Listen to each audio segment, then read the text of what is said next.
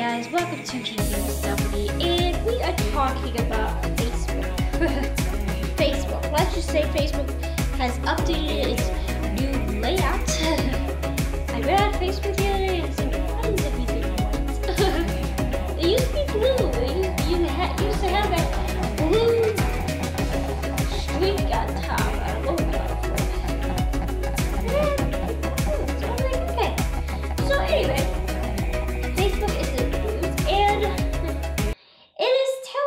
about the secret crushes. So Facebook is gonna have a dating platform.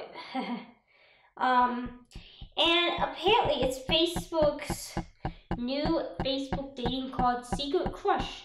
And apparently, if you have a secret crush on Facebook, it will automatically send them that person through DM notification that you're their secret crush. Um. So basically, it's making you become lazy. so basically, I'm gonna, I'm gonna, I'm gonna just sum up this. I'm like, if you have a secret crush and you don't want to tell that person you like them, I know it's very hard for people to do that. You know, I, I understand. You know, I, I, I've had crushes before, and it was hard for me to tell them that I have a crush on you. It's very I'm just saying that having a secret crush and having Facebook tell that person for you is kind of bad. It's kind of rough. Especially DMing and then sliding into your DMs and um, which is a new trend nowadays.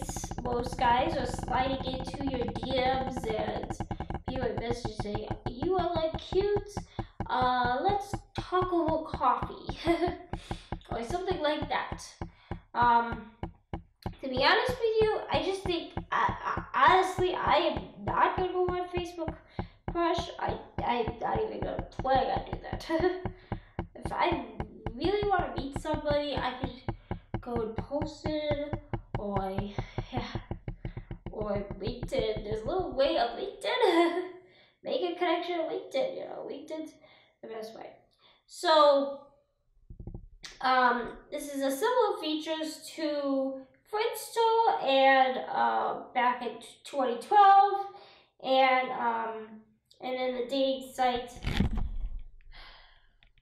Oh, this is gonna fall. My microphone is gonna fall. This is something new. Um, Friendster and uh, the dating site first launched Princeton in 2007, and it's called Good Crush. Just honestly, if you have a secret crush on someone, just tell them. Don't let Facebook tell you to tell them. Just say, hey, I have a crush on you. I really like you. Let's get some coffee. Something like that. That is simple. Um,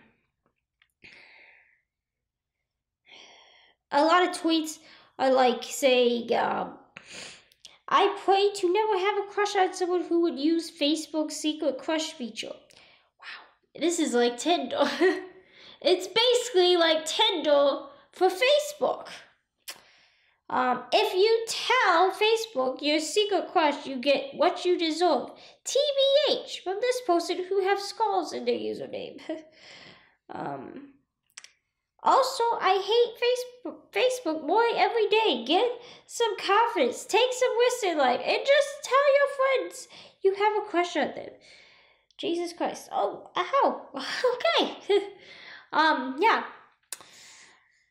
There's a lot of...